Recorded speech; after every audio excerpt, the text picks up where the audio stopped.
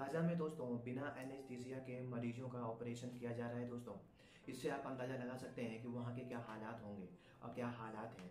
दोस्तों, जिस तरीके से वहाँ पे बिना एनेस्थीसिया के ऑपरेशन हो रहा है, किस दर्द से वो लोग गुजर रहे होंगे? जो मरीज़ किस दर्दनाक लम्हे से वो गुजर रहे होंगे? डॉक्टर्स किस तरीके से उस दर्द को महसूस कर रहे होंगे? दोस्तों, हमारे लिए ये महसूस करना, कर पाना बहुत मुश्किल है। एनेस्थीसिया के कैसे ऑपरेशन किया जा रहा होगा? दोस्तों, ये आप अंदाज़ा लगा सकते हो। बिल्कुल नहीं अंदाज़ा लगा सकते दोस्तों। बहुत हालात ख़राब हैं वहाँ के। मिसाइलें लगातार दागी जा रही हैं उन उन जगहों पर। लोगों की, इंसानियत की कोई फ़िक्र नहीं, कोई कहीं से कैसे भी, कोई वो नहीं।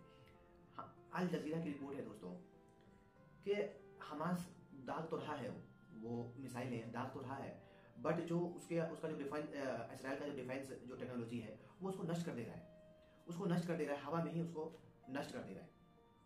तो दोस्तों, वो कितना नुकसान कर पा रहा होगा। बट जब उधर से देखो, नुकसान जिधर जिधर का भी हो, इंसान जिधर भी मारे जाए, बेकसूर मारे जाते हैं, बेवजह ही मारे जाते हैं दोस्तों। ऐसा न इसराइल में होना चाहिए, न गाजा में होना चाहिए। बट जो गाजा में जो तबाही हो गई है हो रही है, दोस्तों, इंसान इस बात से जो है ना बेफिक्र है। जिस तरीके से जो इसराइल अपने सैनिकों को हालात ख़राब होने का एक खबर दे रहा है ऐसी खबर में आ रहा है कि इसराइल ने अपने सैनिकों को खबर, एक चेतावनी दे रहे हैं खबरदार होने के लिए और उनको एक एक इशारा दे रहे हैं कि आगे बहुत ही ख़राब हालात होने वाले हैं और क्या गाज़ा पर कुछ बड़ा हमला होने वाला है या फिर, और ये जो हमला हुआ है हॉस्पिटल पे, इस बात को लेकर अरब मुल्क भी काफ़ी जो है ना, खफे खफा है इसराइल से। और बताया तो ऐसा भी जाता है खबर के मुताबिक कि ईरान ईरान के सैनिक पूरी सीधे तरीके से सीधे तरीके से इसराइल से जंग लड़ने को तैयार है। तकरीबन जितने भी मुल्क हैं, सब अभी सीधे तौर पे जो है, वो बिल्कुल बिल्कुल इसराइल से जो है ना, खफा हुए पड़े हैं।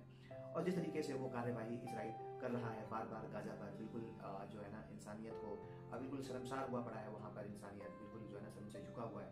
ऐसा नहीं होना चाहिए दोस्तों, जिस, क्या हालात है वहाँ के, ये बिल्कुल जो है ना, हम तो दूर बैठे हुए हैं खबर देख के भी हम लोग उतना अंदाज़ा नहीं मिल पाता होगा। बट जो जो वहाँ पर इंसान पे जो गुजर रही होगी इंसानियत पे गुजर रही होगी वो हमसे अंदाज़ा लगा पाना बहुत ही मुश्किल है पूरे अरब मुल्क में फ़लस्तीन के समर्थन में रैलियाँ हो रही हैं और वहाँ जो लोग इस बात को जो हॉस्पिटल का जो एक हमला हुआ है उस बात को लेके जितने भी अरब मुल्क हैं वो खफा हैं ये भी खबर आ रही है दोस्तों के बच्चे अपने हथेलियों पे नाम लिख रहे हैं ताकि कोई अगर मिसाइल आए और उनका खात्मा हो जाए तो उनको पहचाना जा सके दोस्तों ये हालात बहुत ही बदतर होने की तरफ़ इशारे हैं दोस्तों ना जाने दुनिया किस तरफ़ अभी अग्रसर हो रही है? सारे मुल्क, अगर जो अरब मुल्क हैं, वो अगर एक एक साथ आकर एक एक नाराज़गी में, एक जो है ना, एक, यानी एक युद्ध छिड़ जाए तो दोस्तों ना जाने दुनिया किस तरफ़ चली जाएगी? जो बड़े ताकत वाले देश हैं दोस्तों तो वो समझौता करवाना ही नहीं चाहते दोस्तों। सब तमाशा देखने वाले हैं। लोग मर रहे हैं उधर के या उधर के मर रहे हैं। पर जो तरफ़ तरफ़ के मर रहे हैं, उसका अंदाज़ा इंसान को नहीं है दोस्तों, मैं सही बताऊँ। और जो बड़े ताकत ताकत वाले मुल्क वाले देश हैं ताकतवर मुल्क वाले देश हैं, दोस्तों। वो मैं सही बताऊँ, वो समझौता नहीं करवाना चाहते। अगर वो समझौता करवाना चाहते तो दोस्तों, ये कब का ख़त्म हो जाता है, ये जो चीज़ें हैं। ठीक है दोस्तों, फिर मैं आपके लिए लाऊँगा एक नया ताज़ा अपडेट जब तक के लिए मुझे इजाज़त